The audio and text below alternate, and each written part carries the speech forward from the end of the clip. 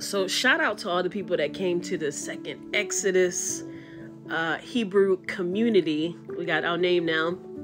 Hebrew community nonprofit organizations first meeting yesterday. Um, it was a really good turnout, and I really got to meet some really special uh, women and people, and um, I think God has just brought us together. A lot of us had similar stories and similar ways that we can relate. So um, I'm just super excited to see what God has in store. Uh, all honor and glory to the Most High God for what He has done and what He is going to do. Um, uh, if this is your first time coming across this video and you're interested in what I'm talking about, I think I do have a second Exodus playlist.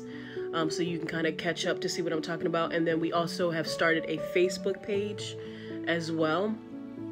And um, I'm just I just wanted to come on here and say um, shout out to all the people that came to the meeting. And if you come across this video, um, comment below because um, I want to put faces to the profiles because some of y'all have don't have like like faces on the profile and I still don't know everybody's name yet so um, it'll help me to make the associations with your name and, and profile. So um, thank you so much for uh, participating. I'm super excited to see what God has in store for us.